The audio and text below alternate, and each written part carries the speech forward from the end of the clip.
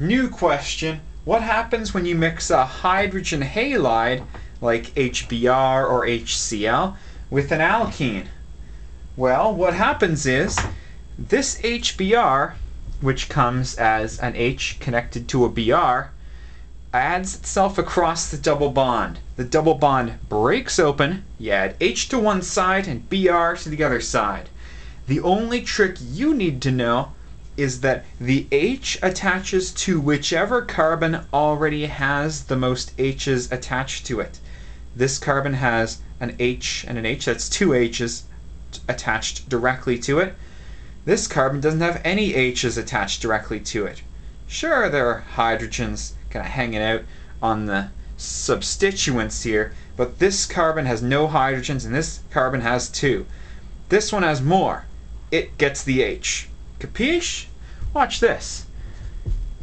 That's my two central carbons. It was a double bond. We're breaking it open so it's a single bond now. The second one had two hydrogens attached to it. The first one had two CH3s attached to it and I'm going to add my H to the carbon that already has the most H's. Obviously, the other side gets the Br. Done! This is how a hydrogen halide adds itself across a double bond.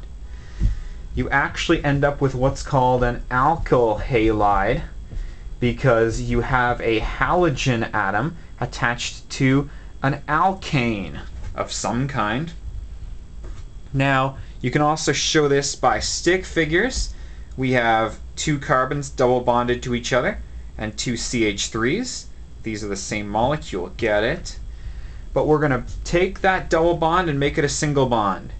We've got two CH3s still sticking out of the first carbon.